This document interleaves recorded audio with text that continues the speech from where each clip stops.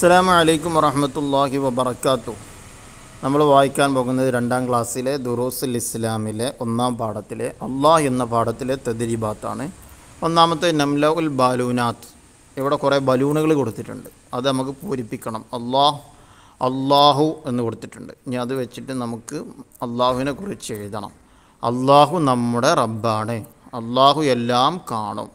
അള്ളാഹു ഏറെ മഹാനാണ്. എല്ലാം അറിയും അള്ളാഹു എല്ലാം കേൾക്കും അള്ളാഹു നന്മ നമ്മെ പടച്ചവൻ അള്ളാഹു കരുണാവാരിധി അള്ളാഹു അന്നം തന്നവൻ അള്ളാഹു ഇനി രണ്ടാമത്തെ ഇനുഷ് ബൈനൽ ഫരീഖൈൻ.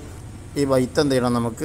ഇവിടെ എഴുതി കൊടുക്കണം. അള്ളാഹ് അല്ലാ അള്ളാഹു നമ്മുടെ റബ്ബാണ് അള്ളാഹു ഈ വാക്ക് എഴുതി കൊടുക്കുക. നമ്മെ പടച്ചവൻ അള്ളാഹു അന്നം തന്നവൻ അല്ലാഹു എല്ലാം കേൾക്കും അല്ലാഹു. എല്ലാം കാണും അല്ലാഹു. എല്ലാം അറിയും അല്ലാഹു. സർവശക്തൻ അല്ലാഹു. ഇനി മൂന്നാമത്തത് നെക്റ വനക്തുബ് വായിച്ചിട്ട് അതേ രൂപത്തിൽ അക്ഷരങ്ങൾ ഹർക്കത്തുകൾ പുള്ളികൾ തെറ്റാതെ നല്ല രൂപത്തിൽ ഒന്ന് തന്നെ രണ്ട് തവണ എഴുതണം. അള്ളാഹ് എന്നത് രണ്ട് വരിയിലായിട്ട് എഴുതണം. അതുപോലെ റബ്ബ് എന്നുള്ളത് രണ്ട് വരിയിലായിട്ട്. ഇങ്ങനെ ഓരോന്നും ഇവിടെ എഴുതി കൊടുക്കുക. രണ്ട് തവണ. നല്ല അക്ഷരങ്ങളൊക്കെ ശ്രദ്ധിച്ച് പുള്ളികൾ ഹർക്കത്തുകൾ തെറ്റാതെ എഴുതുക. ഇനി നാലാമത്തെ നുൻഷി ഉൽ ജുമൽ.